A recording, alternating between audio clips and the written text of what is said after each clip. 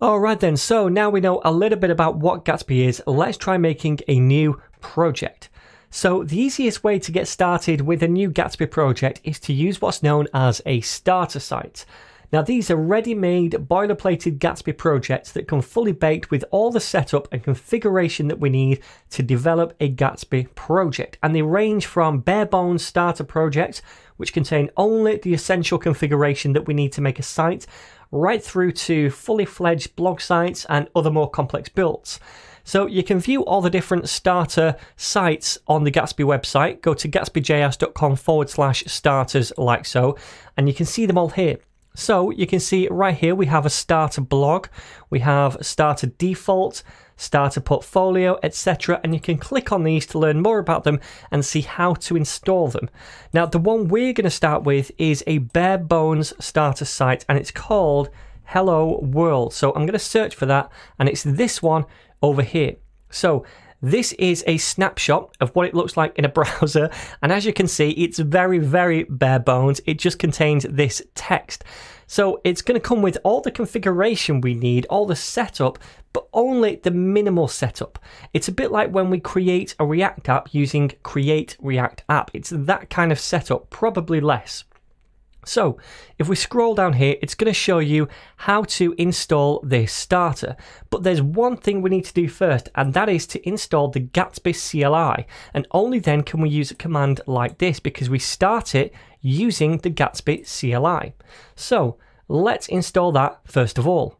So to do this, you want to open up a terminal. This can be command prompt or whatever terminal you want and we want to use npm to install a package. Now this is why you need node installed because you can only use npm if you have node installed. Then we want to say we want to install, then hyphen g, meaning install this globally on our computer so we can use it anywhere, and we want to install Gatsby hyphen CLI. So press enter and that's going to install that tool for us.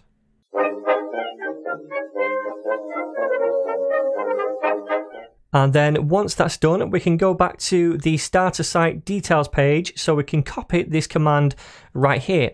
Now notice this says Gatsby new, which is how we start a new Gatsby project. Then it says my Gatsby project. Now this is what we want to call our project. So we're going to call it something different. And then this is a GitHub repo and a starter project reference that we're going to install. So let us now go over to the terminal and paste this in. And I just want to change where it says my Gatsby project to something that our project is going to be called. So let me delete that and I'll change it to Web Warrior. Alright then, so if I press enter now, it's going to create a new project called Web Warrior in this directory for us, and it's going to base it on this starter site.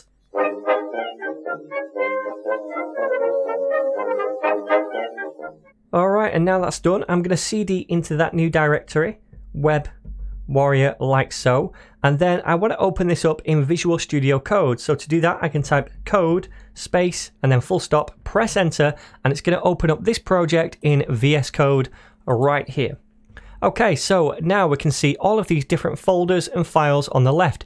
This, my friends, is our starter project. So the first thing I want to do is give you a little tour of all these different folders and files because I said that this was a bare bones project, but by the look of things, we've got a lot of different files and folders here. So let's take it one step at a time. First of all, node modules over here. This is where all of the different packages are installed. So React itself and Gatsby, they go in there and any dependencies that they have as well. Any other packages that we install in the future as well for the project are going to live inside here, but you never have to go in there and edit anything. That's just where they live. Then we have this source folder right here. Now this is where like 95% of your code is going to go. So most of the work you do will be inside this source folder. And inside the source folder at the minute, we just have a pages folder as well.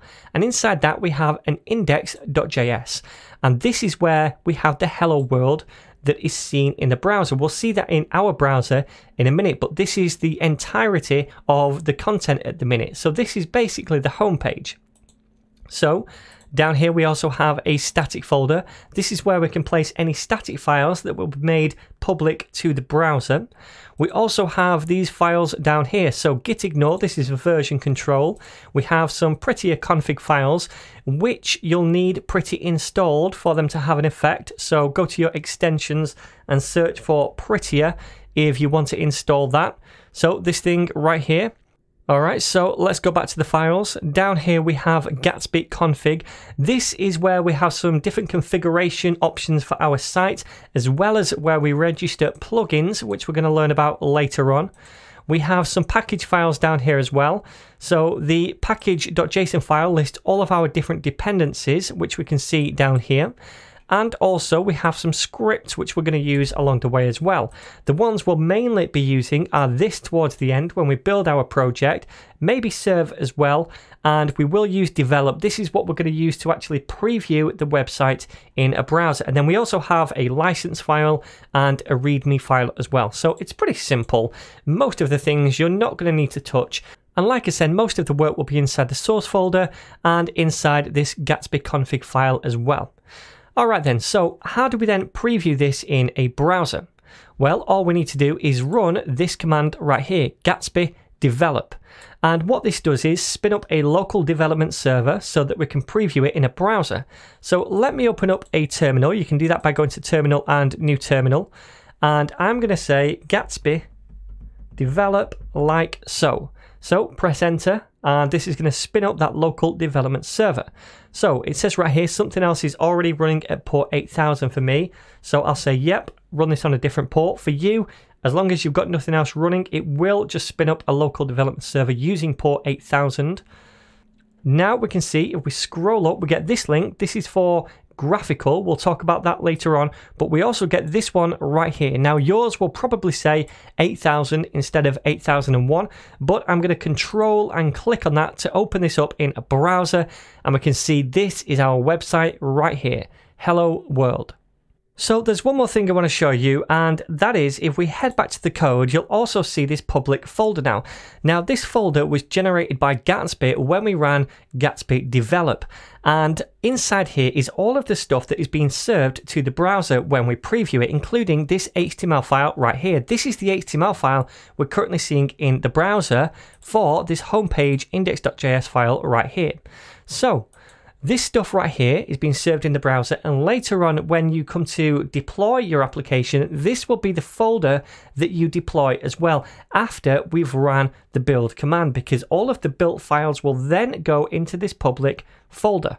So that's your introduction to the starter site. Next up, we're going to start talking about pages and routes so that we can add more content.